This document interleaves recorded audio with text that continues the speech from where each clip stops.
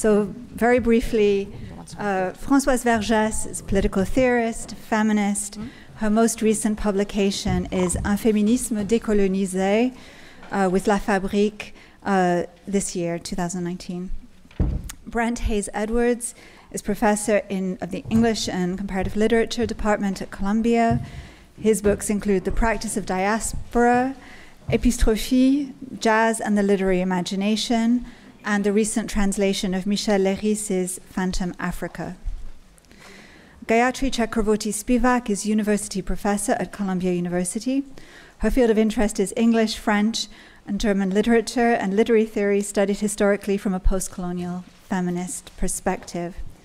Um, before I, I, hand over to Brent, I have uh, another message. This message is not from a writer, it's from Columbia, so it's from specifically President Lee Bollinger, who says to Maryse, or to everyone, it is an honor to celebrate Maryse Condé and her lifetime of remarkable work. With an eye for the magic of literature and her skill at conveying the beauty and brutality of life, she has subverted convention and given voice to the overlooked, creating unforgettable characters and stories that transcend time and place. At Columbia, where she taught for a decade, Professor Condé reframed our approach to French and Francophone literature and made an indelible mark with the force of her intellect and her extraordinary generosity. So, um, with that, I will hand over to Brent.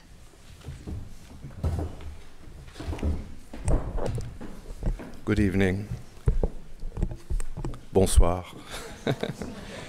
uh, je vais un peu sauter entre l'anglais et le français. Um, I'm going to be relatively informal.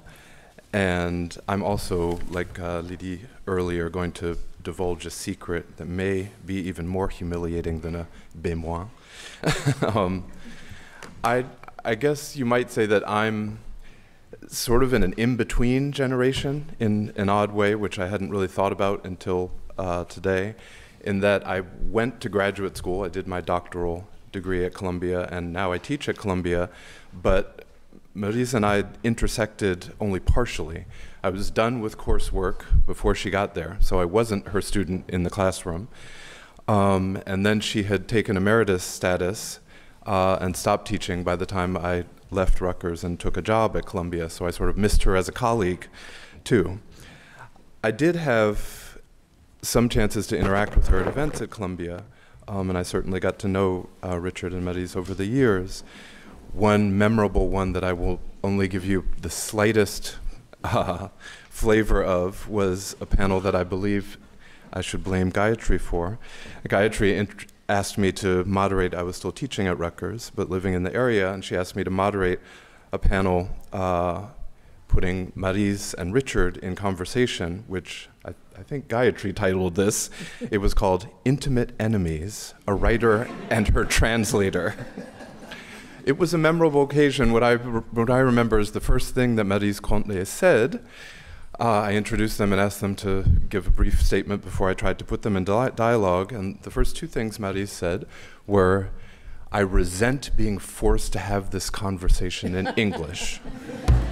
And then she said, I want to say one thing about translation. All translation is a form of rape.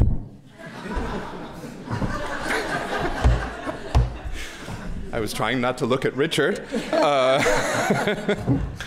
that was the beginning of our conversation. I will not tell you about uh, that, that event this evening. Um, I do want to take you into the what Kaiama called a while ago the intimité, the intimacy of Maryse's pedagogy um, from a few different angles that I've experienced it. And so I will be a little bit personal if, if you'll indulge me. Um, I wanted to talk just about a couple of things that I've learned from Maryse Condé that she might not even know that I've learned from her. And I mean both from her fiction, but also from her literary criticism. And by her fiction, I also mean the theoretical insights that are staged in her novels. In terms of the literary criticism, one thing that we forget, and I don't think it's been mentioned today, is how important her criticism is. Um, between Heremakhonon, between 1976 and Une Saison à Rihata in 1981, um, in Ségou in the 80s, between those novels that come out the next decade, she writes an enormous body of critical work, of literary critical, rather traditional, rather conventional literary critical readings of texts, including a great study of Aimé Césaire, um, of the Cahiers, a wonderful book called La civilisation du beau sale, Réflexion sur la littérature orale de la Guadeloupe et la Martinique, and one that was very important to me called La Parole, la parole des femmes, essai sur la, les romancières des Antilles de langue française in 1979. So I'm going to try to talk between the criticism more directly than we've heard today and the critical lessons that I've learned from a, a little bit of the fiction. Um, but the secret that I want to divulge, the Gayatri is the only other person in the room who was there. I want to tell you a story from my dissertation defense. Because the one way that I was Maryse's student is she was one of the outside readers on my dissertation defense. And it also was a memorable occasion. I, in one of the chapters of my dissertation that then became my book, The Practice of Diaspora, I'd write a great deal about the career of Paulette Nardal um, and her sisters, especially Jane Nardal, um, as pivotal figures in the pre-negritude intellectual circuits that animated Paris in the late 20s and into the 1930s. And I'd written in that chapter, I'll read you, uh, as I said, more humiliating than a B minus. I'll read you a little bit of my dissertation, um, two sentences. I had written, it is generally agreed that Nardal's article, L'éveil de la conscience de race, from La Revue du Monde Noir in 1931, is the single most significant work to be published in La Revue du Monde Noir. What interests me, I said, is the way this developing diasporic consciousness is linked for Nardal to a kind of feminism manqué, to certain ideas about Caribbean men and women in the metropole. When it got to Maryse's turn in my defense, this is the first thing she said, as I recall it. I want to know why you call Paulette Nardal a feminist monkey. uh, those of us who are in the academy, in whatever capacity, know that there's a certain, you could call it the generosity of the long winded question, where you take some time to spin out the question, and it's generous because you give a person a time to come up with a response. This was not one of those questions. Th that's all she said. Uh, I stumbled around the room, and unfortunately, Gayatri Spivak was also in the room, so it became an important theme in my dissertation defense. Uh, I don't mean to scare any of the students in the room. Uh, but it also became enabling. I went back to La Parole des Femmes, which had been a book I had used in my dissertation. It was Maryse's criticism that introduced me to the fiction of Suzanne Lacascade, um, Claire Solange, Âme Africaine, and I went back to La Parole des Femmes to think about the way Maryse operated as a critic and as a feminist critic. Uh, with Claire Solange, if you know that novel, relatively obscure um, but very interesting novel from the mid 1920s, uh, that had not been written about really at all until Maryse wrote about it. Even when I was writing about it, it almost had not been touched. Maryse is very critical of Claire Solange, of the character, um, and the character's self conceptualization in relation to race. Um, Claire Solange's character is an Antillean who comes to the metropole and who professes and kind of performs a, a certain hyperbolic Africanness, a kind of Afrocentrism avant la lettre. And Maryse, in her writing about it in La Parole des Femmes, is critical. She says, En croyant refuser l'assimilation, elle, Claire Solange, this character, s'ingénie à se faire accepter du monde blanc par la prise de position d'éléments venus en droite ligne de la mythologie raciste.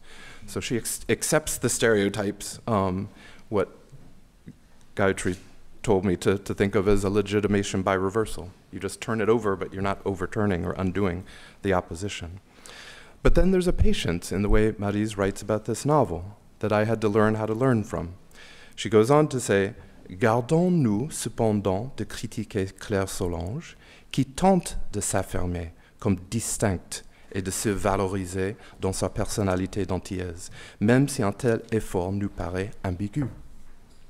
In general, in this book, reading uh, the work of Simone Schwartz-Bart, of Mayotte Capécia, of La Cascade, of Marie-Vieux Chauvet, uh, of Lacrosil, Michèle Lacrosil, of these pioneering um, Antillean women writers, there's an amazing feminist patience that I felt going back to it after having survived my dissertation defense, I had to learn. She says in the end, uh, la protestation, on peut même dire la contestation, qu'elle, these authors, véhicule cependant, est plus nuancée. And you have to learn to read feminism in relation to that nuance. So I went back, and if, if uh, you'll indulge me reading the revised paragraph, I totally changed the chapter. And the chapter, that particular moment in the chapter, what I say there is what would it mean to theorize a feminist articulation of diaspora? Um, about Éveil la conscience de race, uh, I say that her evocation an, of an emergent black cultural internationalism is linked to an equally nascent feminism. And I think that what I at least tried to do is make an argument that the emergence of Nardal's feminist sensibility actually precedes and leads to the formulation of her black internationalist consciousness. It's because she's a feminist, it's because of her experience as a black woman in the metropole and the feminism that emerges out of that experience that she starts to think towards internationalist solidarity.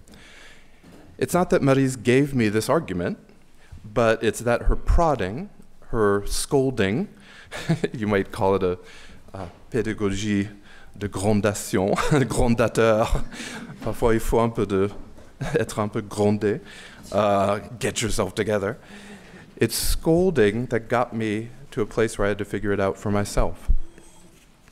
And the other thing that I wanted to, to point to that I, th I think I've learned from Maryse's work, and it was implicit in that question around the transatlantic trajectory in so many of her works, um, which we could talk about, I think, at great, much greater length.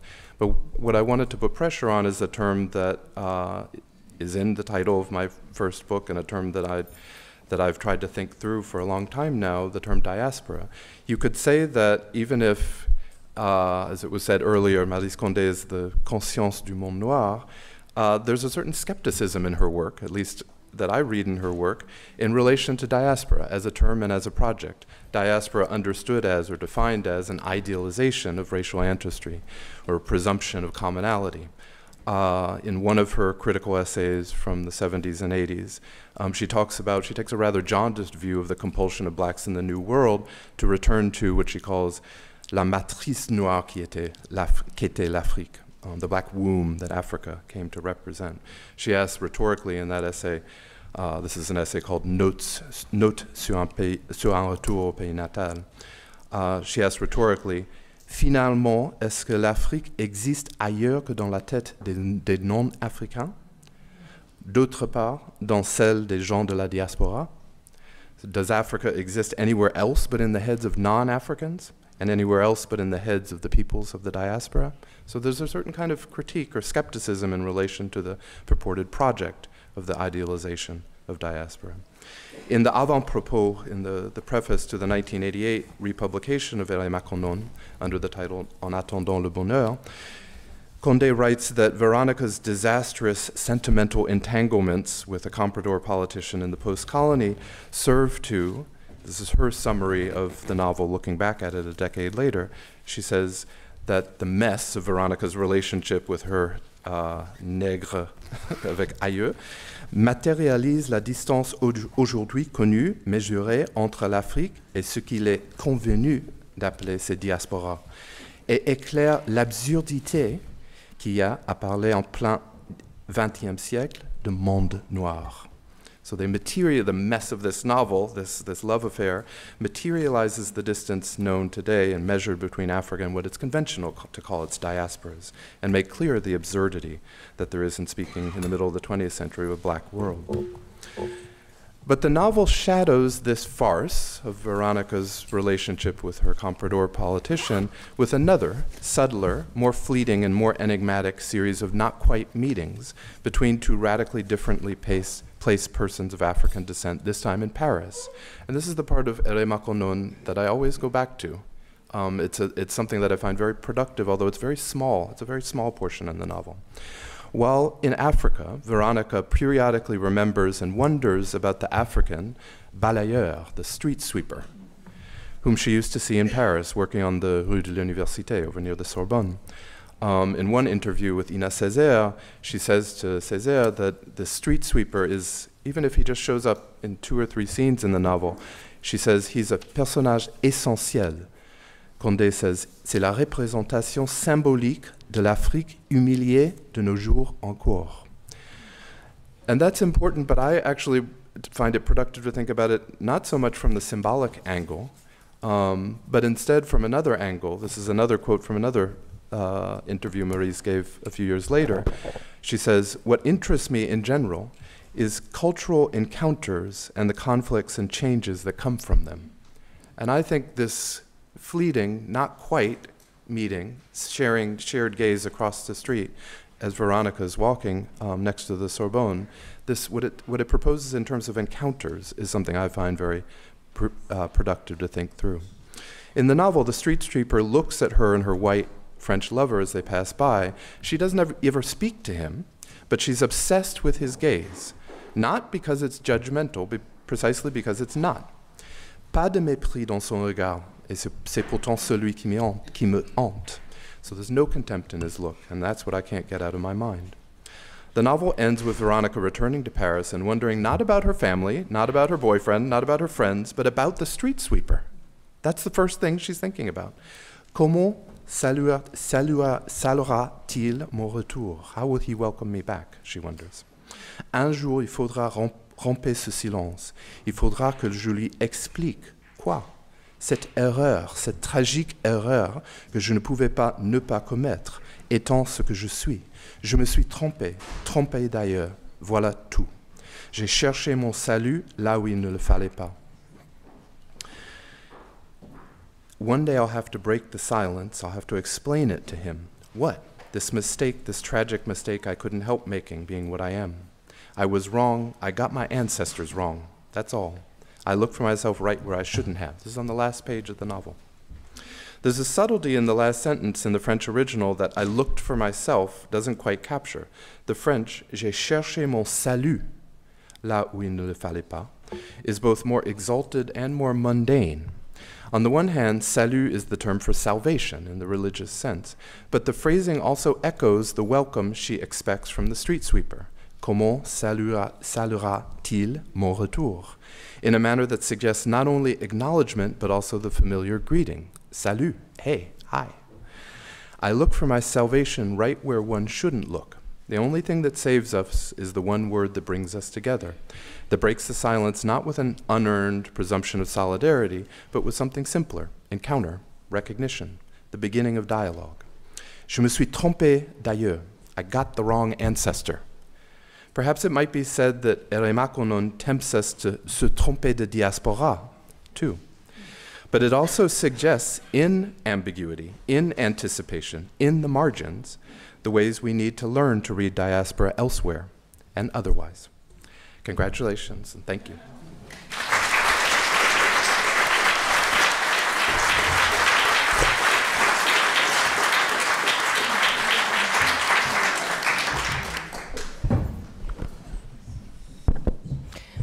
Bonsoir, euh, merci Kayama et Madeleine pour avoir organisé, et merci à Marise d'être là, et à tous les amis euh, que Marise euh, fait chaque fois se retrouver. Alors, euh, je n'ai pas été une étudiante de Marise, ni une collègue de Marise, donc c'est un, un, peu, enfin, c'est un peu étrange de commencer parce que elle me dit, mais je suis un imposteur. Mais bon, je vais essayer de quand même euh, de parler. Donc, je me placerai moi en dehors de l'université. Euh, j'ai connu Marise en dehors de l'université et je suis restée son amie depuis. est l'annonce, c'est une écrivaine pour notre temps. Alors je me demandais quel est ce temps dont on parle. Euh, il y a, euh, on, le voit tous les jours à lire les journaux, un effort de la part euh, des puissants pour que leur passé, c'est-à-dire leur passé d'esclavage, de dépossession, de colonialisme, de racisme, soit notre présent. C'est-à-dire que ne soit jamais passé, que nous soit encore dans notre vie aujourd'hui. Un temps de division qui dresse chacun et chacune contre l'autre. Face à cet assaut, à cette division de l'humanité entre les vies qui comptent et les vies qui ne comptent pas, une vieille, très vieille ancienne division, Marise offre une alternative que je trouve fondamentale. Elle offre l'amitié, elle offre l'amour, jamais de manière niaise, certainement pas de la part de Marise, mais profonde, réelle et exigeante. L'amitié que Marise, que toi tu nous offres, et profondément réconfortante. Tu as le talent, partout où tu t'installes, de créer un réseau d'amis, de les rassembler autour d'une table dont tu as cuisiné les mets. Cette amitié fidèle, que tu sais constante, est à mes yeux un bien précieux pour notre temps. Dans ces temps de guerre permanente, tu nous offres quelque chose qui serait de la paix, du paisible. Pas la paix de nouveau, qui serait cet entretemps de la guerre, mais ce moment paisible où on peut se retrouver et parler simplement. Tu es aussi d'une très grande curiosité, qui est une qualité que j'apprécie par-dessus tout, et à laquelle j'accorde aussi une grande importance. Cette curiosité qui questionne toutes les formes de naturalisation, qui transforme l'injustice en justice, l'inégalité en égalité, le racisme en différence radicale, qui fait de l'autre un ennemi. La deuxième chose aussi que je partage peut-être avec toi, Marise, et dont je voudrais parler ce soir, c'est ce qu'on appelle en français les outre-mer. Pour toi, la Guadeloupe, pour moi, la Réunion, mais je vois aussi la Guyane ici et la Martinique. Xavier Luce remarquait combien les romans et les récits de Marise débusquent, explorent les coins et les recoins de ces terres dont on parle souvent et qu'on connaît si mal. En arrivant d'ailleurs à la Guadeloupe en décembre dernier, Marise, tu as dit Je suis heureuse, simplement, bêtement, naïvement, et aussi fière d'abord pour la Guadeloupe. C'est pour elle que j'ai travaillé, c'est pour elle que je suis récompensée. Tu as parlé euh, ailleurs, d'ailleurs, de la relation, pourtant très souvent compliquée à ton île natale. Ta critique de la petite bourgeoisie noire qui voulait s'élever. Tu dis d'ailleurs dans ton portrait filmé, euh, Marie Scondé, une voix singulière, que pour tes parents, ni les noirs, ni les mulattes, ni les blancs n'étaient assez bien. Et donc, il ne fallait fréquenter personne. C'est une critique que tu partages d'ailleurs avec Aimé Césaire, qui va s'écrier quand il part pour la France Enfin, je serai libre et qui pourtant reviendra en Martinique et finira sa vie. Critique aussi que tu partages avec Franz Fanon, qui a analysé le désir aliénant de reconnaissance de l'être humain noir pour porter un masque blanc. Tu as toujours affirmé que tu étais fanonienne, et cette reconnaissance, tu n'en veux pas. Aussi, ainsi, dans une interview euh, pour euh, l'émission de Daniel Picouli, page 19, tu lui réponds que quand il te demande si tu vas répondre positivement à l'invitation euh, de l'actuel président de la République française, qui t'avait envoyé une lettre de félicitations en t'invitant dans sa demeure à une rencontre, tu lui réponds que non, car ce prix va à la Guadeloupe et non pas à une écrivaine française. Tu soulignes cependant le manque de reconnaissance de la France, ce qui a conduit d'ailleurs à des malentendus lors du débat qui a suivi l'émission en question, hein, auquel j'assistais, débat. En, effet, certains dans le public ont compris que tu étais à la recherche d'une reconnaissance, d'une reconnaissance par la France, et sont intervenus pour insister alors sur cette reconnaissance en utilisant le discours suivant. La France doit reconnaître la richesse qu'on leur apporte, nous, les issus de la diversité. On leur apporte, c'est nous qui la rendons riche. Or, c'est là n'était pas du tout à mes yeux ta position. Et je me suis permis d'interrompre l'émission, enfin la, conversation, et de rappeler que tu t'affirmais toujours guadeloupéenne et que tu avais dit, et que tu continuais à dire, que tu étais une indépendantiste. Donc cette question de la, la, reconnaissance, évidemment, tu ne la comprenais pas dans ce sens. Et pour moi, cette question de la reconnaissance est aussi une question pour notre temps. On connaît la longue lutte pour la reconnaissance, mais dans cette lutte, il y a plusieurs aspects celle qui demande à en être, à être amie, à être admise, même si c'est dans un coin, même si c'est à la cuisine, pendant que les autres sont au salon. Et puis celle qui joue sur les frontières entre demande et refuse, sont pour moi donc euh, et, et refus de cette reconnaissance. Fanon, on s'en souvient, appelé à quitter cette Europe qui n'en finit pas de parler de l'homme tout en le massacrant partout où elle le rencontre. Ce n'est pas nécessairement ce que tu fais, mais tu signales que tu ne seras pas soumise à la logique de la reconnaissance telle qu'elle est normée en Europe. Et la question de la reconnaissance ne se pose sans doute pas de la même manière, on pourrait dire, pour les femmes. Je pense d'ailleurs à ce projet que nous avions, mais je crois que Lydie, tu en faisais partie, les filles de Caliban, quand on avait écrit Daughters of Caliban, c'est-à-dire quand il y avait toutes ces rediscussions sur la pièce de Shakespeare de la tempête et de Caliban comme personnage principal, et que de nouveau c'était encore Caliban, et qu'on avait dit, ben non, nous serons les filles de Caliban, justement, et qu'il y avait quand même des femmes dans cette histoire, et qu'on avait, je crois qu'il y a eu un livre d'ailleurs qu'on a publié. Donc j'en reviens à ces outre-mer, à ces territoires qui ont connu esclavage, colonialisme et depuis 1946, ce que j'appellerais une colonialité républicaine. Des terres ravagées par les inégalités et qui ne cessent de résister, soit en se révoltant, en manifestant, soit aussi en inventant de plus en plus des pratiques de fugitivité, de construction d'espaces autonomes, particulièrement sur ces îles. de repartir, de marronner, dirions-nous, pour revenir effectivement pour construire des pratiques de soins de soi dans un monde où la dépendance imposée par l'État français contraint, entrave et restreint. Fugitivité pour refuser l'injonction à être reconnu par le maître, se détourner de cette loi qui enchaîne, à qui, en fait, nie votre existence. Dès lors, ta position têtue pour l'indépendance de la Guadeloupe est une position pour notre temps, celle de briser les chaînes de la dépendance, de questionner la naturalisation des liens, qui existeraient entre la France et ce qu'on appelle encore les Outre-mer.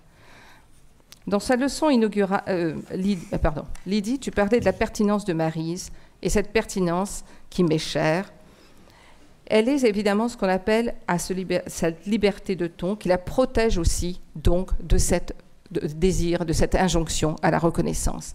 Et qui la protège aussi, je pense, d'un autre, autre danger, d'une autre menace, qui est une menace en fait aussi bien française, bien assimilatrice, de la panthénoisation qui serait la pacification de ta parole.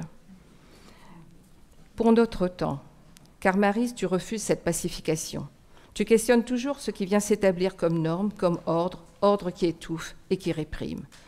En moment aujourd'hui où se pose de nouveau plus fermement et peut-être de manière plus forte que ces dernières années les questions qu'on appelle coloniales, de l'histoire coloniale et les questions raciales en France. Cette stratégie de la pacification est une stratégie qui, de nouveau, va réprimer, faire taire, effacer. Et ta parole, justement, nous demande, tes livres nous encourage à refuser cette pacification. Dans sa leçon inaugurale au Collège de France pour la chaire des mondes francophones, l'écrivaine Yannick Lahens disait la littérature commence là où la parole devient impossible. La parole décoloniale a bien du mal à être entendue en France. La parole de l'indépendance aussi, comme force d'existence, non pas comme imitation de l'État-nation, comme nationalisme étroit à établir, mais comme recherche de soi, sans phare. Merci Maris.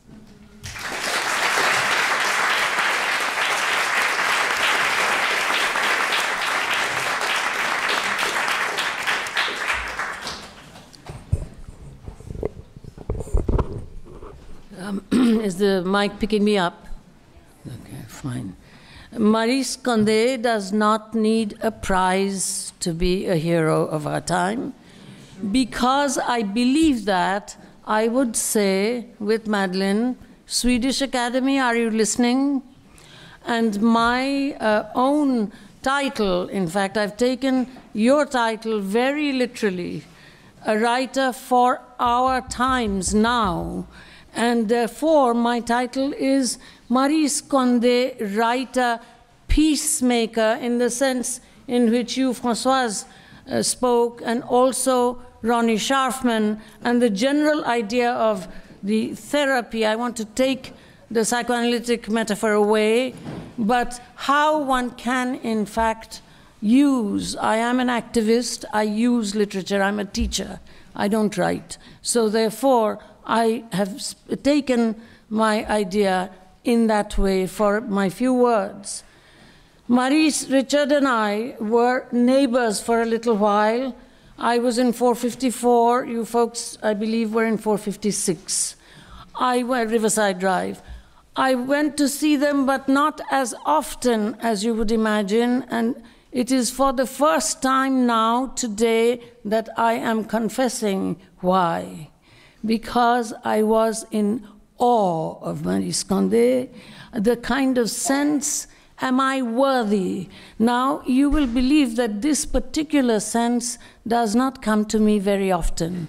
but, but that's, that's, that's why, Maryse. Now you know.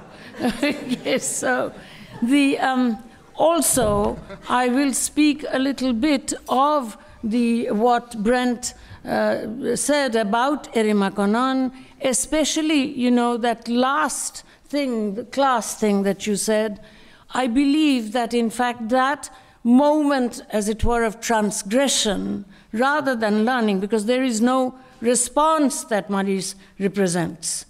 She doesn't, resp- uh, she doesn't represent that. And there, in fact, I try to inhabit that last moment in order to draw a reading which is really for our times. In the early 80s, I asked my very dear friend Clarisse Zimra what feminist text I could put on my syllabus that would grasp the situation of Africa. That's, those were the words I asked. She said, without hesitation, Erema I had not yet met Maryse Condé. I was gobsmacked by the book because it is not recognizably identitarian, you know, intimacy and identity. And Maryse says, people want me to judge me on identity, and therefore, dot, dot, I'm quoting uh, an interview. Uh, uh, because it is not recognizably identitarian, it did not, because it was critical, it did not receive the absolute appreciation that it deserved immediately. She became famous with the second book. But today, today, our time, when all over the world, so that uh, to an extent I'm taking that 1988 introduction and Brent's comment on it further into our time, when all over the world identity politics is destroying democracy in tremendously heterogeneous and diversified ways, to recognize with constructive sympathy as does Maryse, that the most vulnerable yet class powerful innocent subject of identitarianism, namely someone like Veronique, you know, looking for niggers with ancestors, innocent subject of identitarianism is the narcissism of the well placed diasporic female, strictly to be distinguished from the underclass migrant's culturalist representation of the inaccessibility to class mobility often gender comprom compromised, strictly to be distinguished from those black lives that really do not matter, for which one has to say Black Lives Matter, not just identifying because one is black. And also strictly to distinguish from something like Charlottesville. But this distinction is not kept in mind. And the, in the end of that book, Heremakhonon, Maryse invites us, readers, to inhabit that and turn. The, so today, the middle to upper middle class diasporics, condition and effect of identity politics, and I know this also as Indian, in living in the uh, in uh, New York with an Indian passport, as young Indians, Columbia University, brand name university, asked me to speak to them on voting week because they expect to, dis uh, to disturb democracy by voting blocks, claiming that they are minorities. The, today, the middle to upper middle class diasporics, condition and effect of identity politics, choose to ignore the, these distinctions and celebrates the unexamined culturalism that also ignores the fact that their place of origin has a separate class gendered modernity. In the metropolitan space of their citizenship, this divisive culturalism compromises the austere abstractions of democracy that inhabit the performative contradiction between autonomy on myself and equality for others who do not resemble me. In terms of the place of origin, the diaspora's attitude becomes primary. This problem played out in the Caribbean in a different formation. Today, the most peculiar African American expression of this is Afro pessimism. Fanon gives an ungendered version of this problematic when it was just about to take shape, I quote. It can be affirmed that in the West Indies in 1939, no spontaneous claim of negritude rang forth. It was then that three events occurred, Fanon writes, successively. The first event was the arrival of Césaire. For the first time, Fanon writes, a very well known passage, a lycée teacher, a man, therefore, who was apparently worthy of respect, was seen to announce quite simply to West Indian society that it is fine and good to be a Negro. To be sure, this created a scandal. It was said at the time that he was a little mad, and his colleagues went out of their way to give details as to his supposed ailment.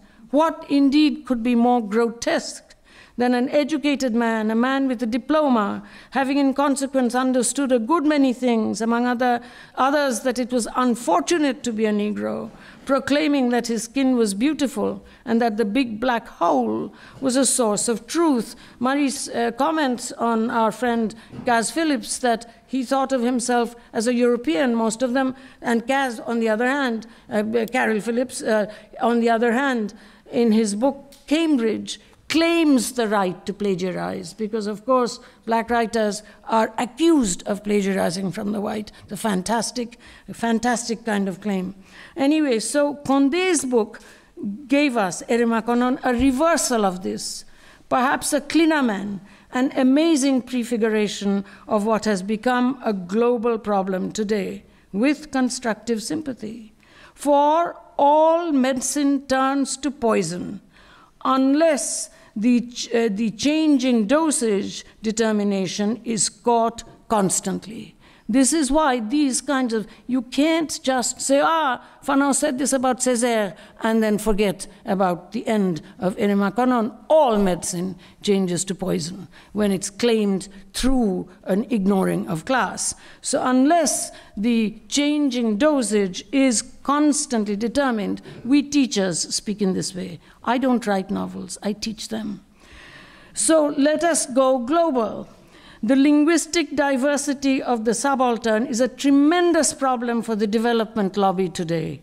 While the United Nations and many, many academic institutions are busy preserving, the development lobby finds the subaltern wealth of languages an impediment since the wealthy capitalists who develop, which is, of course, a, a, a strange word, which, if I, if I was speaking longer, I would share with you the real meaning of that word sustainable underdevelopment.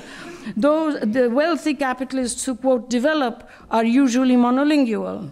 Again, Condé gives us a prefiguration in her slight hero, Veronica, and I can read this as a moment of sympathetic transgression through which the problem can begin to fester. I quoted a piece from the novel in an article I wrote for Lydie Moudileno. The idea is not that you do good, the idea is that you read better, you rehearse the text as you're reading a book um, Heremakhonon, uh, uh, indeed any book. In that sense, reading is like writing, and in the broadest possible sense, reading as writing, it is an allegory of knowing and doing.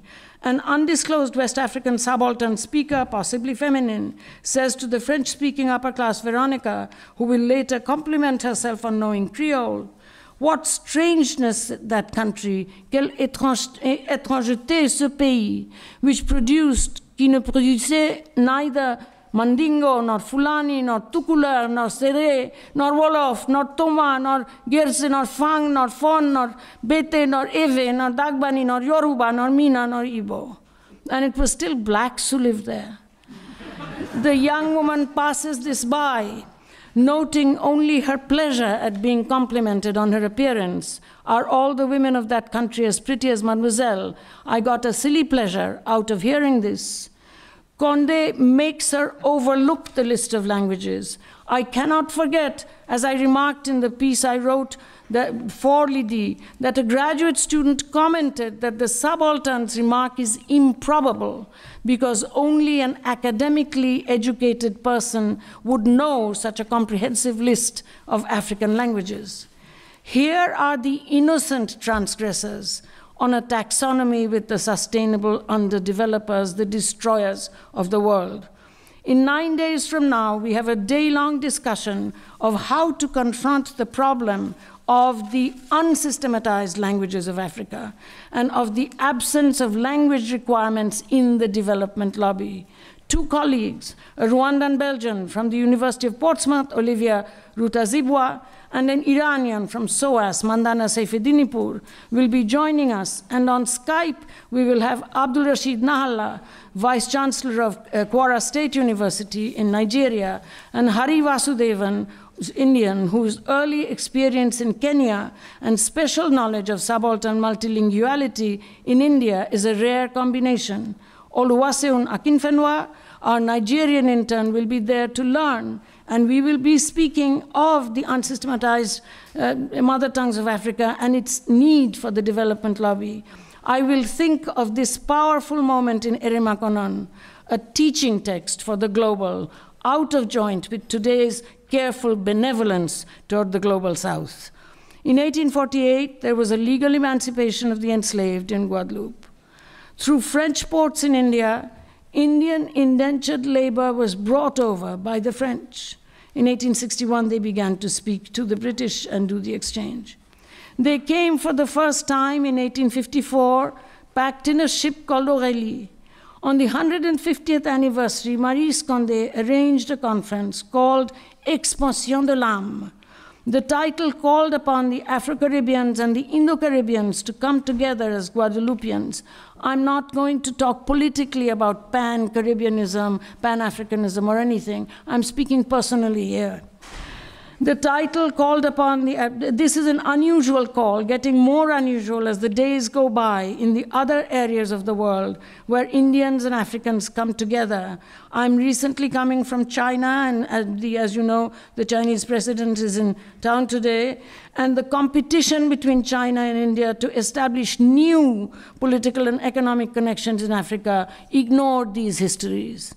I was the only Indian citizen among the people Maryse invited. I apologized. I sang a song by Tagore and explained line by line how neither he, our national poet, nor those of us who sang that lovely song and would sing it in the future had ever thought or would think of the fact that the poet's compatriots were providing slave labor upon such islands. I still remember how astonished they were to see an actual Indian passport.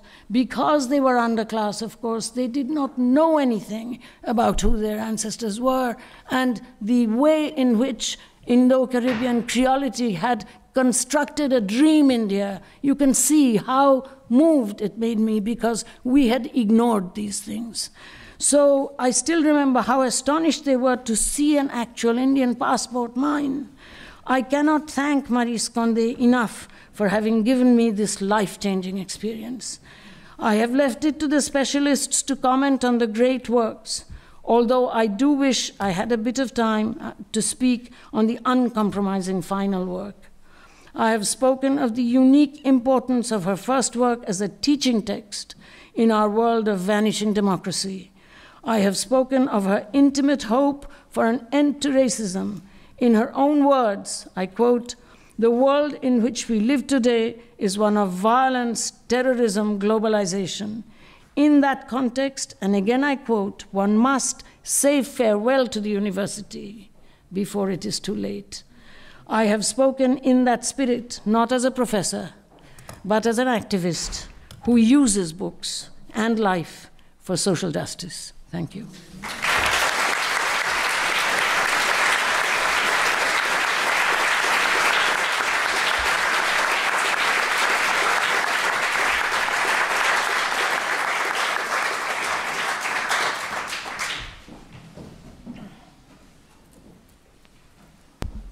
Thank you uh, to all three. And thank you for um, all three of you talking about the title of this uh, journée.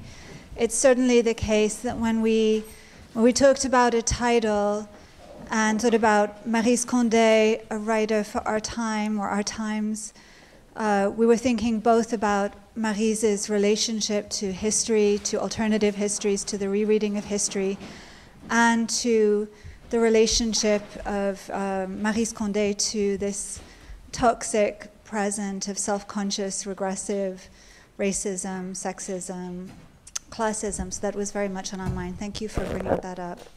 Um, these these um, commentaries resonate very well with each other on many levels. Many things uh, came together.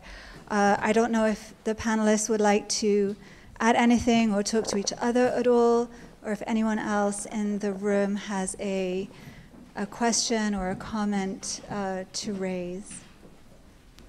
Maybe ask the panelists first.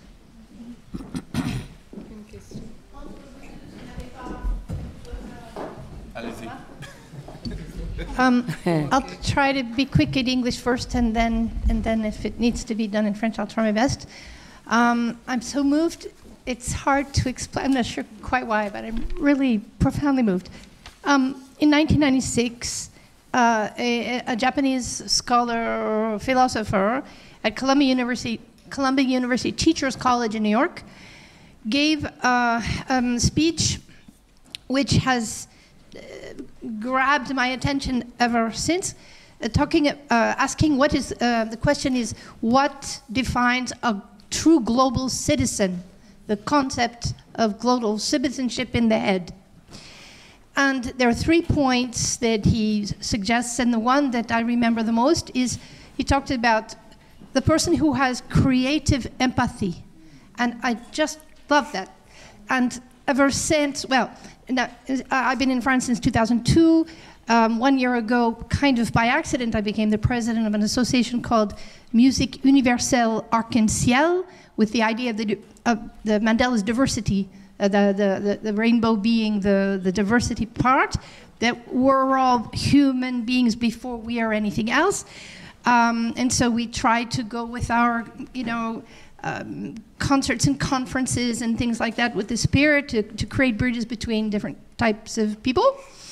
And uh, the last thing I wanted to, I mean, in case you have any reaction at all to this, it's probably not going to be a very clear question. Um, and the last thing would be uh, Fatoumata Diawara. This is a Malian singer, composer, uh, I think she's also an actress who speaks about, as, as a young woman, well, she's probably in her 30s or something, her, how she sees her role as somebody from Mali, but who is also a global citizen. She doesn't use the word, but um, she has been working with uh, UNESCO and um, what's the guy's name? Herbie Hancock, uh, who created the Jazz Day concept in 20, 2012 and is celebrated the 30th of, of April every year. And it's kind of the same thing intercultural dialogue and human dignity. And of course, the, if look at the, the, the, roots of jazz and everything, he uses that as like a educative uh, thing wherever he goes, because every year uh, Jazz Day is celebrated in a different country, and then they use that three days to educate students and everybody else in that in that area. Last last year was St. Petersburg. This year, it's um, it's uh, Sydney in Australia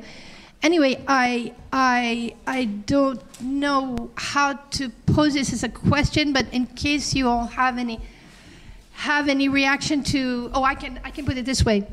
Fatou Diawara said, and I have to say this in French, in a, in recent interview, je, elle, a dit quelque chose comme ça. Hein?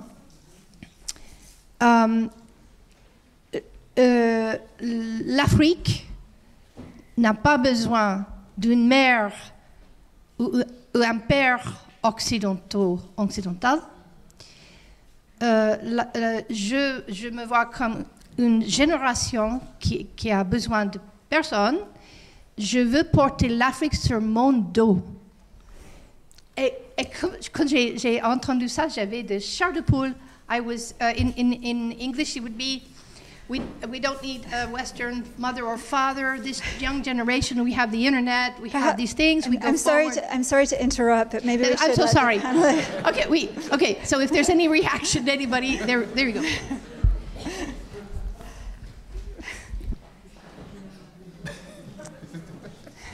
Reaction. Come on, you want to go? Brent? I, I, can't, I can't stop talking once I start. That's why I always ask other people. Okay, I'll try to be brief, which is a very difficult thing for me to be. Just stop me, okay? So the uh, global citizenship, first of all, I don't think a global citizenship is possible because there is no social contract in global governance. And so therefore, I mean, it's easily said by Tumi luggage, etc., etc., that, you know, here's the global citizen carrying Tumi luggage, I, because international civil society is self-selected moral entrepreneurs. You don't do citizenship in that way. So, and then I would also say that, you know, I'm coming from China, right? I uh, actually was speaking there on the 23rd, three days ago.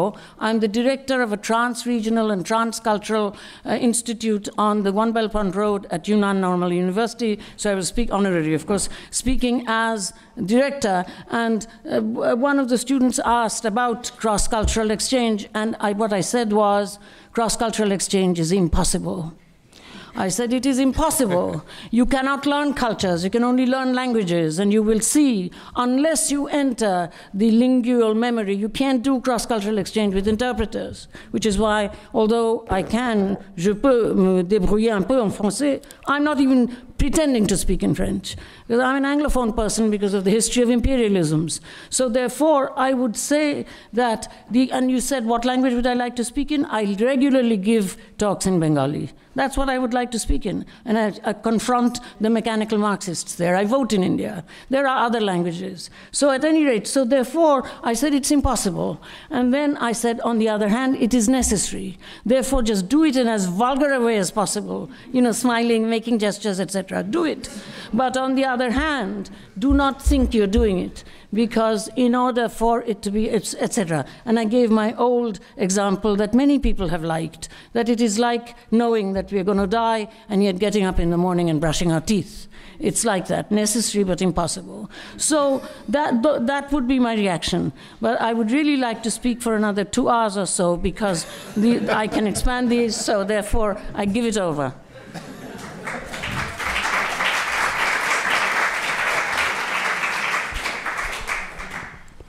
Je pense que, aussi que les citoyens globaux ou que le dialogue interculturel sont impossibles, sont des, pour moi des formules, des formules pour masquer en fait les, les impossibilités et le fait que euh, beaucoup de choses ne sont pas faites pour qu'il y ait de dialogue. Euh, si je pense aux universités, si je pense à la à, l'état dans lequel sont les universités, dans ce qu'on appelle le, Sud global, enfin dans ce qu'on appelait le tiers-monde. Je veux dire, là, c'est là que se passent les choses. C'est là qu'il faudrait agir. Euh, c'est justement dans l'enseignement des langues. Tout le reste me semble vraiment des, mots de pacification, quoi. C'est-à-dire, c'est des, mots un peu, enfin, c'est de la rhétorique. C'est voilà, c'est du spectacle, mais profondément, euh, c'est la question que euh, des migrants meurent tous les jours dans la Méditerranée ou partout dans l'Europe, qu'il y a une politique des visas absolument terrible, qu'en France, là où nous sommes, les droits d'inscription des étudiants étrangers ont augmenté de telle manière qu'ils ne pourront plus venir faire des études. Donc le dialogue, pour la, je veux dire, il y a des, des, des tas de choses concrètes euh, qui s'opposent au dialogue et qui s'opposent justement par, pour des raisons, par des choix. C'est pas, euh, et, donc ce ce discours du dialogue vient masquer le fait que se multiplient en fait des lois et des entraves à la circulation déjà des personnes qui voudraient tout simplement circuler, qui ne sont pas justement avec les to me euh, luggage, mais qui mhm. sont avec les sacs en plastique euh, et qui essayent de juste de survivre. Donc pour moi, euh, il, je veux dire, on ne peut pas parler de ça si on ne parle pas de ce qui se passe tous les jours aujourd'hui, de, des lois anti-migrants qui se passent en Europe, de, la, de, de tous ces gouvernements qui, sont en train de gagner en Europe et ailleurs et qui sont absolument, euh, absolument contre, qui sont pour le libre marché, ça pour que les objets puissent circuler, la marchandise puisse circuler, pour, la dépossession, mais surtout pas pour que justement il y ait une liberté de circulation et surtout pas pour que les gens se rencontrent. Et, par contre, que les gens meurent tous les jours, oui. Je veux dire, ça, c'est absolument visible tous les jours. There's another thing that needs to be said, which is that, you know, this uh, saying that we don't need uh, we don't need Western parents. One should also look at policy. You know, these remarks, uh, who says this? These remarks are easily made when global policy goes another way. You don't, the policymakers do not listen to these remarks or celebrate them because that's very nice, because it keeps globalization alive when these things are said. You know, if you work as indeed, you know, it is my great honor that I can join in Africa led movements in Nigeria. And there, so it's not me that's leading anything, but there, if you actually, and this is also true in the places where I have schools in India among, among the landless illiterate, if you actually go into the savannas, where when oil came, all of starch production stopped because there was no capital incentive and everything was coming from the United with state subsidized starch, right? And then slowly now, there are Nigerians who are trying to resuscitate the planting of rice in the savannas, right? And uh, Lexi Cook, one of our, uh, one of my uh, well former students, she learned Yoruba so well that they actually chose her at one of these groups as an executive facing the other way. She knows many of these uh, these unsystematized languages now. Now, when you go into those areas, they are not speaking uh, the lingua francas and they, some, and this is true also in India, the world's largest democracy, some of the women do not know the name Nigeria. Okay, so unless you discount these people, the largest sector of the electorate who, with, with, political campaigning in these languages just before the elections, a lot of ethnic violence, destruction of democracy, was body count democracy, they vote. They're made to vote. So, therefore, unless you discount the largest sector of the electorate in the tricontinent, you cannot just say monolithically, Africans say, we do not need, prove it, we do not need the West. You know, think about talking about Mali. Think about Mali and French presence there. So and so, therefore, let's not idealize. If we want to work in there, we want to go and earn the right to join with those who are trying to change the situation and being screwed by Nigerians, by people like Dangote, whose name probably not too many uh, in this room knows. So therefore, I would just make this kind of respectful submission about who the African is who says this and that.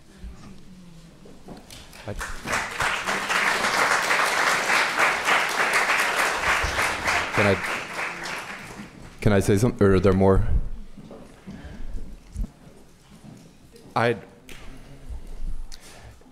It's hard for me not to respond uh, to something like that as a teacher um, because I think the politics of what we do, yes, some of us are activists and do work, activist work in the university and outside the university, but the activism of what we do is first of all in the classroom.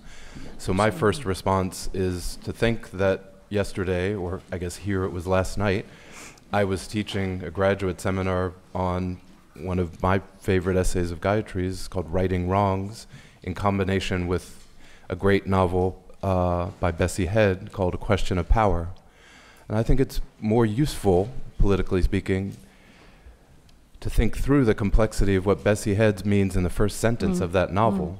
Mm. Uh, as an African, just he said one of the most perfect things ever I am just anyone. Yes. I'm just ordinary. As an African. That's not a claim to the status of global citizen. And he's not even a good guy in the novel. No, he's a. that's the work that we do as literary as literary uh, scholars and as professors is try to allow a space for students to think that through. Um, in, in relation to Gayatri's essay, that particular piece is a talk that she gave to NGO folk, to the people who use labels like global citizen, um, and said, uh, tried to talk about the work she does in the tribal schools there. What I talked about with my students is what Gayatri means by a, a, a uh, category that she uh, thinks through in that essay the new diasporics. Who are the new diasporics? My students were saying, if she wants to work in these rural schools in India, why doesn't she go and get teachers from all there are lots of NGOs? Why doesn't she get them to come? Well. And I said, well, who does she mean by the new diasporics? And my students sitting around the table, the Brazilian guy who grew up in Sao Paulo, the Algerian woman, the Turkish guy, it took them about a half an hour to realize oh, we're the new diasporics. That to me is political work. But it's not access to the category of, or to the banner of the global citizen. Uh, that, that's I don't know that that's a fair response, but that's that's where I am today. I just have to say something about those NGOs. Okay, I, in the areas in the areas where I have my five schools for 40 years now, I've never seen an NGO. It's below the NGO radar.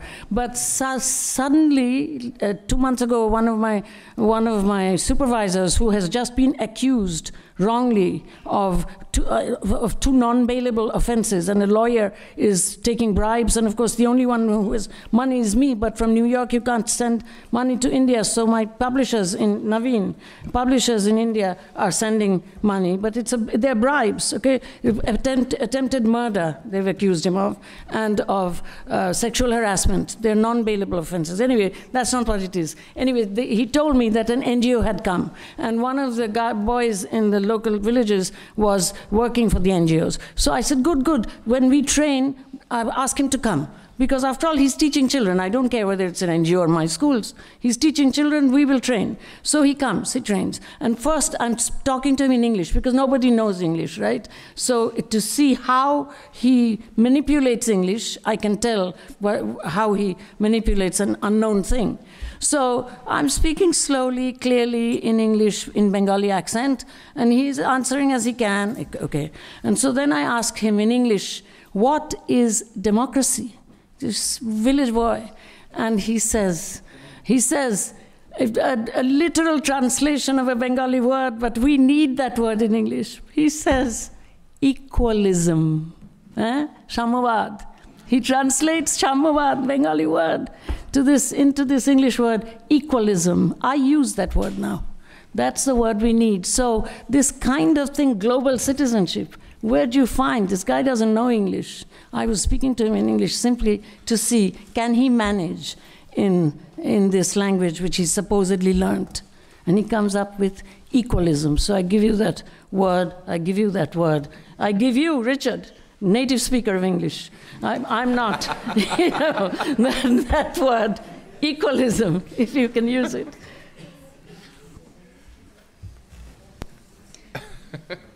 Would anybody else like to ask a question or make a, a comment, an intervention?